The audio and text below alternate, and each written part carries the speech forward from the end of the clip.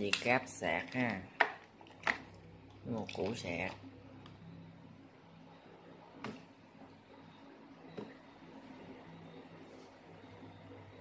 Nói chung mình à, có xài thử rồi nhưng mà test lại cho nó nóng. Các bạn thích mình khoái thì cái phần cảm ứng vân tay nó rất là nhạy các bạn.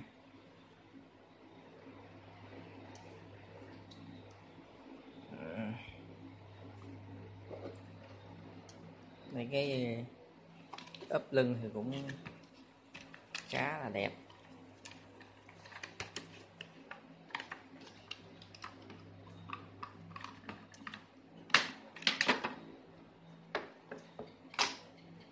Này, hướng dẫn để ấp lưng của bê này các bạn.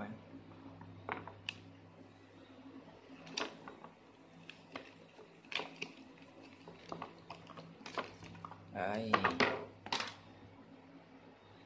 bên trong rất là mịn lùi nhém cầm rất là chắc tay chống trơn chợt luôn nha Đây. sạc của nói chung là cũng rất là bự luôn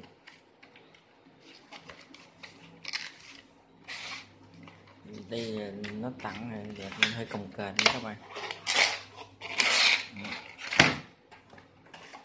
hai chục ngàn mAh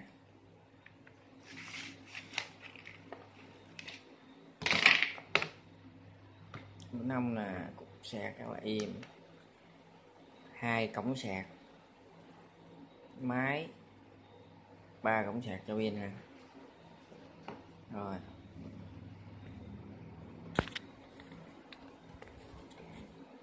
Mình thường mình mua máy chủ yếu là máy bền là mình thích à mình nghe quảng cáo cũng nhiều nhiều năm rồi.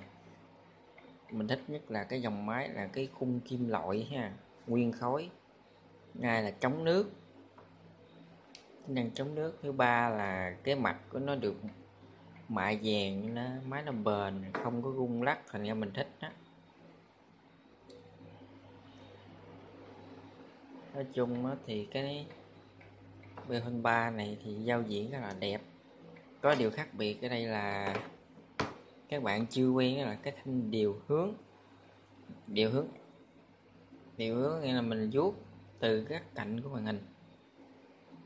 Ví dụ đây. Đây từ ngoài vuốt lên rồi nó sẽ thoát. Ờ.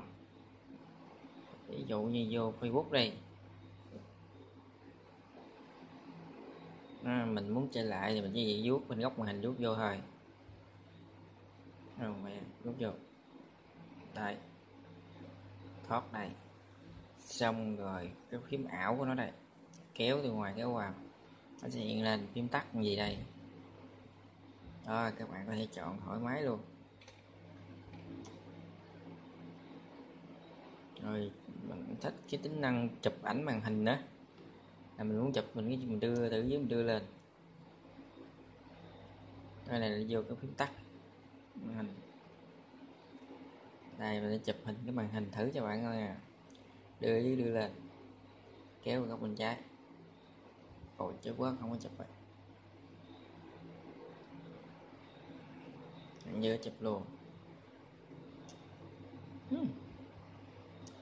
dữ quá. Làm lại không nghe gì hết.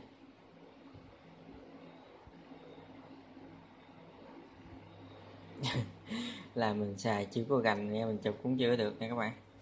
Mình chụp lại thử cái đó coi.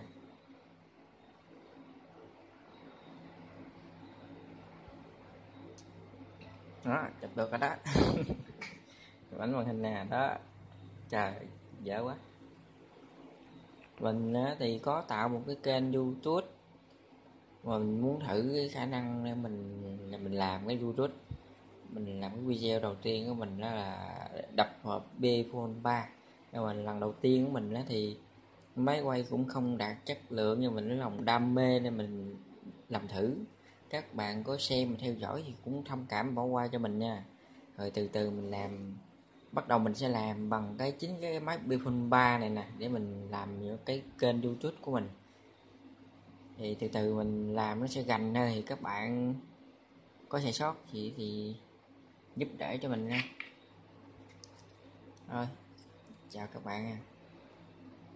Hẹn gặp các bạn ở các video lần sau nha.